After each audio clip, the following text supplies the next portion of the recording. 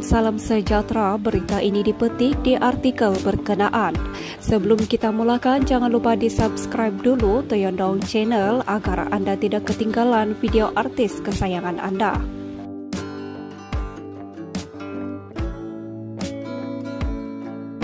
Putri Saraliana Megat Kamarudin yang juga calon top 5 kategori artis TV popular tiba di karpet merah dengan ditemani bekas ibu bapa mentua Datin Fatimah Ismail dan Datuk Yusuf Aslam.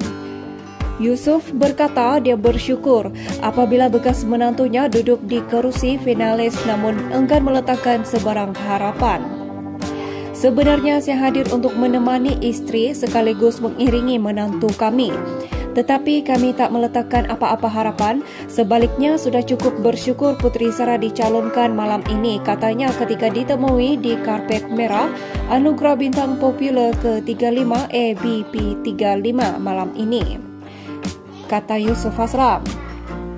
Ini adalah kali pertama Putri Sarah berjaya melangkah ke top 5 bersaing dengan Anna Jobling, Sharifah Ros, Siti Saliha dan Raisha Rizros menerusi kategori artis TV popular ABPBH 35.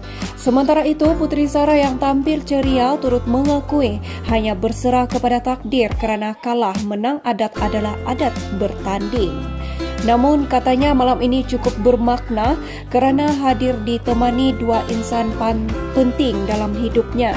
Saya datang dengan hati lapang kerana paling penting ditemani insan yang saya sayangi selain membawa bersama restu peminat aku akui artis berusia 38 tahun itu.